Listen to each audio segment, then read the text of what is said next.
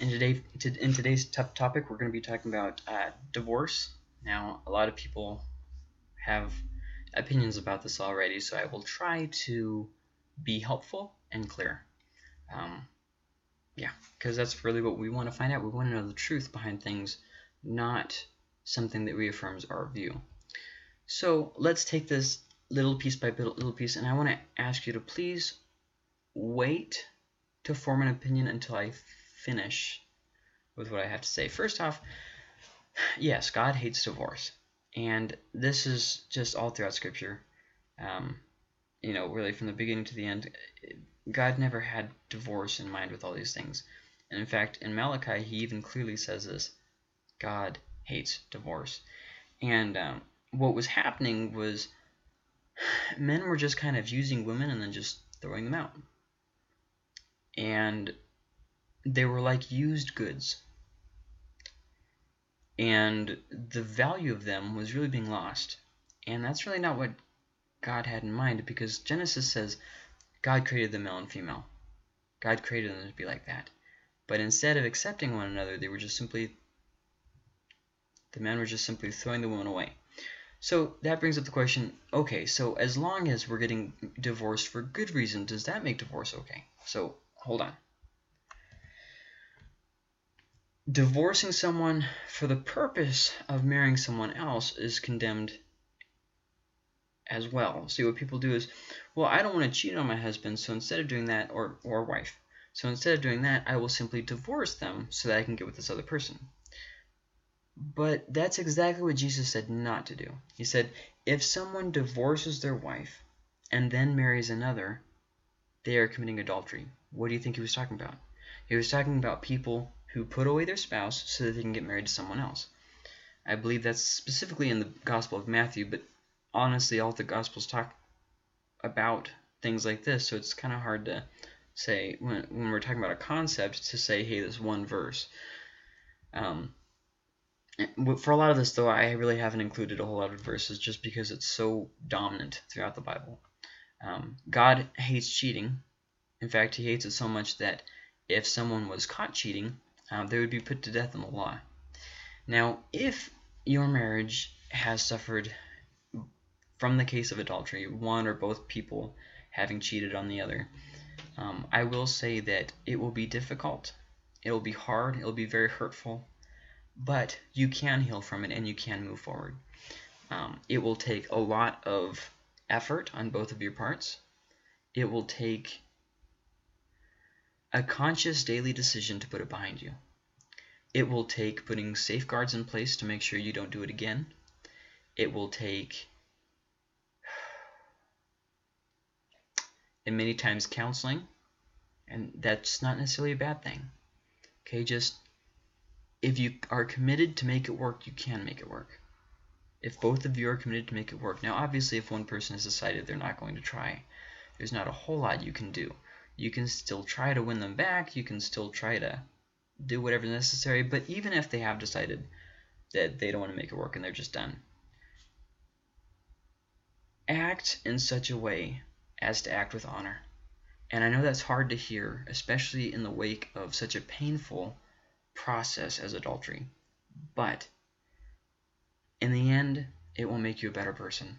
And when you choose to not be bitter, especially, especially in such a case, that will have a lasting impact on you. Now, I do want to say this.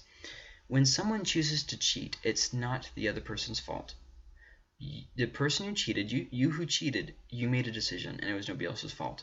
The first step to moving forward is admitting that. It was your fault. You didn't have to cheat. That's just that's just a fact. In my opinion, it's probably better to just divorce than to, than to go behind your spouse and, and, and, and cheat on them. But I'm not God, so keep that in mind. That's just my own opinion. Um, but uh, you can definitely move forward.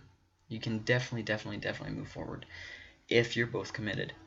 Um, and sometimes it's going to seem like the other person isn't overly committed, sometimes our feelings get a little bit cloaked by the hurt. So don't go by what you think.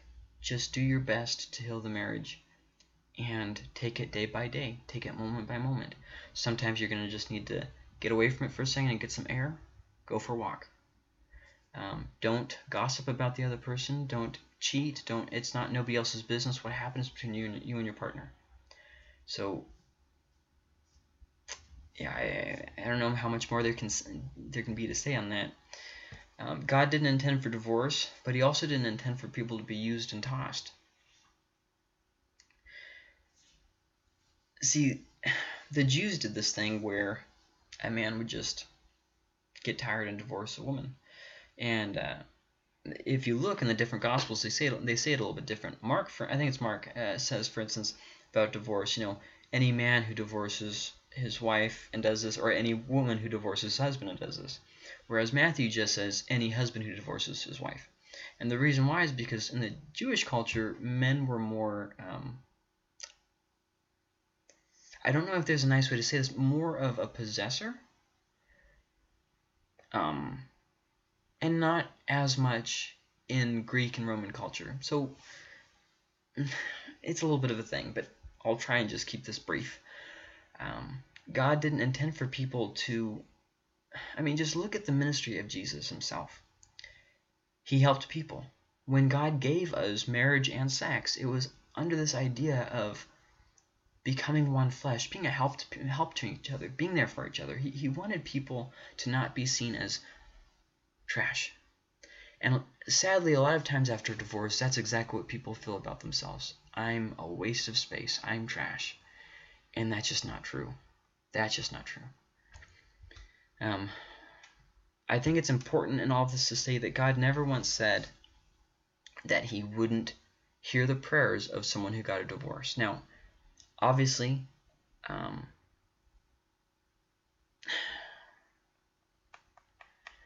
I don't want you to take this too far. I'm not saying divorce isn't a sin.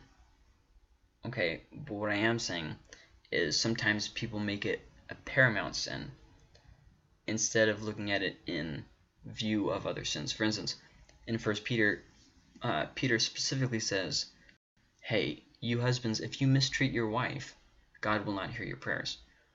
Well, you take that, and it's like, well, hmm. Um, so I think it goes to stand, it goes to reason that um, I think it stands to reason that God did not intend for divorce, um, and He didn't intend for uh, the husband or the wife mistreating one another.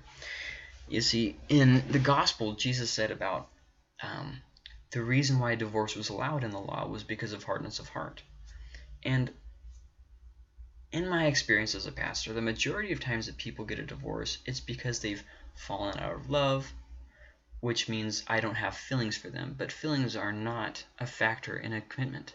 If I go and take a mortgage from a bank, and then a couple years later I say, look, I'm, I don't want to pay on this mortgage anymore. I don't feel like it anymore. The agreement was to buy the house. I made an agreement. It's not something I feel like doing or don't feel like doing. It's like an agreement I made. And the same is true for marriage. A lot of times we try and make it all about what we feel like doing you're not always going to feel like being married to someone. I mean, honestly, sometimes it's just like I want to spend the money my way. I want to go live my way. I, you know, everybody wants mom- has moments of like like moments of that. But um, really, the, the, the truth is that Jesus really um, made a blanket statement there, and that just can't be can't be ignored. The most times that I see people getting divorced is not for any good reason. Um, it's because you know, my husband did this or my wife did this. And instead of trying to find healing and trying to move forward, they put a cap on their love and say, I'm not willing to go beyond this point.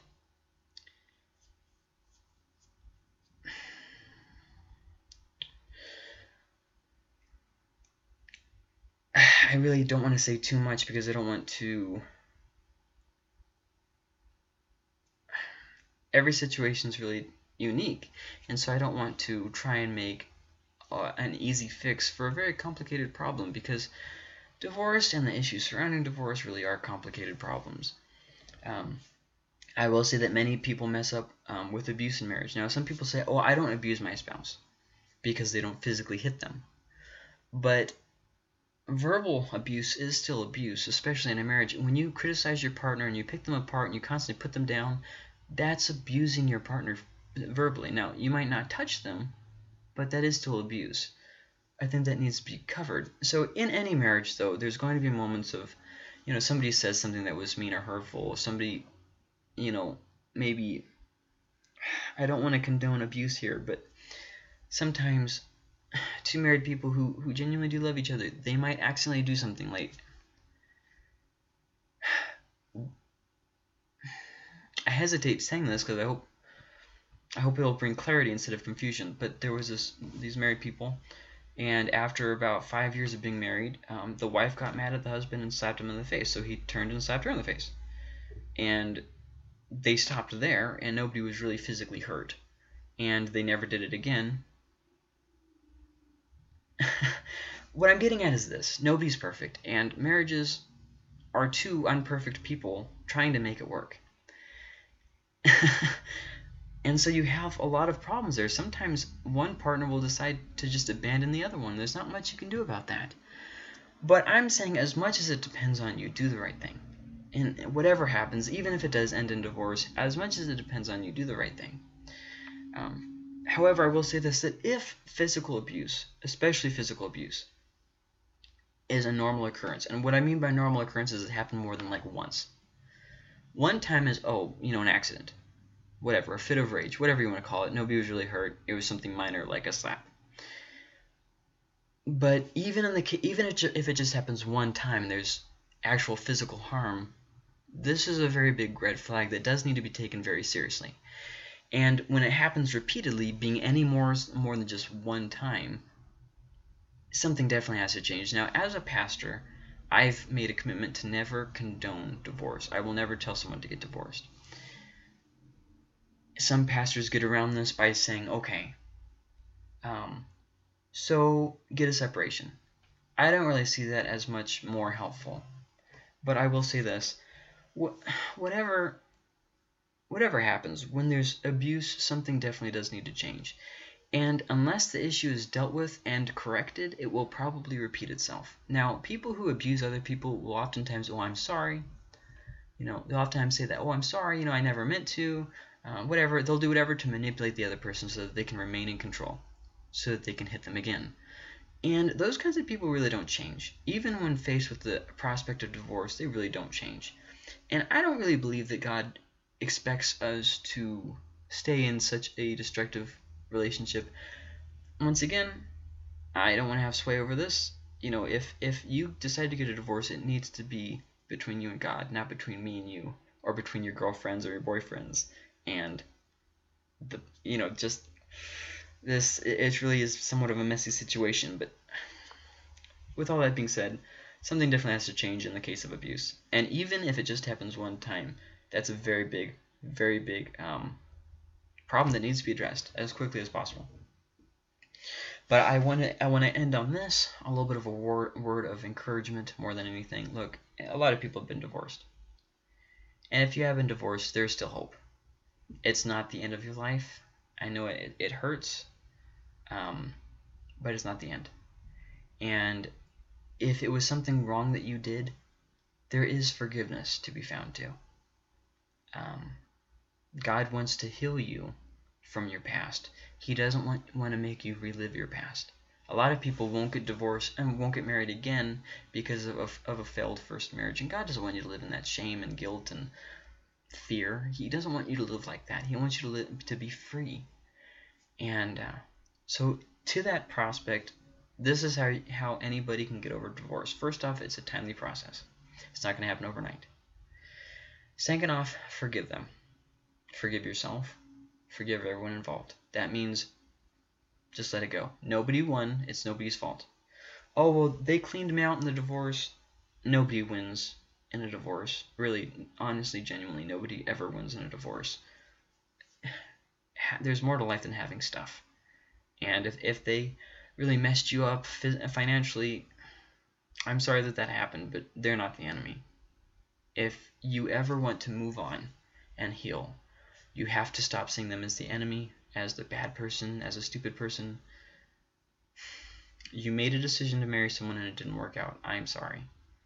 Um, all I can say is if you haven't gotten married yet, don't get married flippantly. You know, do it with thought. Look to see how the person handles or, or treats their, their parents. Look to see how they treat um, other people. Look to see if they have healthy relationships in their life. Look to see if they have just warning signs of not being stable. Um, are they on medications? You know, how do they treat waiters and waitresses? You know, just look and observe and, and, and think and ask other people. And don't ask their mom because the mom will always validate them. um, I guess moms have the habit of seeing the best, seeing the best and the worst of people. But anyways, so go through the process of forgiving them because you need it. You really do, and you will not uh, be able to move forward without it. And honestly, divorce and the harm that goes with it can cripple our relationship with God too. So really forgive them. God, God wants us to be forgiving. God won't forgive us if we don't forgive other people. Just put it behind you. Let it go. No matter how painful it is, no matter what the circumstance, forgive and move on. And then the next thing, pray. You know, just just find your wholeness by seeking God. Pray and ask God, Lord, whatever I did wrong, forgive me. And stop doing whatever it is you did wrong, obviously. And, you know, uh, pray that God would, restore you and, and would heal you. And uh, don't rush into another relationship. Um, divorce is very long lasting. Very long lasting. And to hop from one bad relationship into another bad relationship, sometimes history just repeats itself, especially in the case of abusive relationships. You can go from one bad relationship to another, and then you feel like you need them when you really don't. And uh, so I hope that I hope that you see what I'm trying to say. Yeah, divorce is bad, but things aren't always that simple. And I don't think that God thinks that they're simple either. And whatever the situation, God wants to heal. He wants to restore. He wants to forgive. God doesn't want to punish us. He's not waiting for us to mess up. So when we do mess up, you know, be quick to fix the problem. And uh, do your best to honor the commitment that you made to your spouse.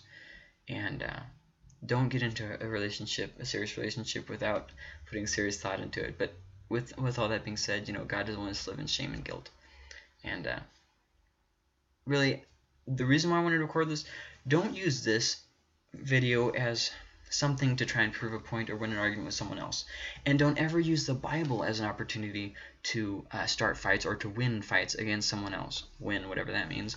Um, instead, I'm more saying this for you individually as a warning to you. And I hope genuinely, if you if you are watching this and you have been divorced, I genuinely, genuinely hope that you find the healing um, and forgiveness and restoration that God has for you because he doesn't want you to live in guilt and shame.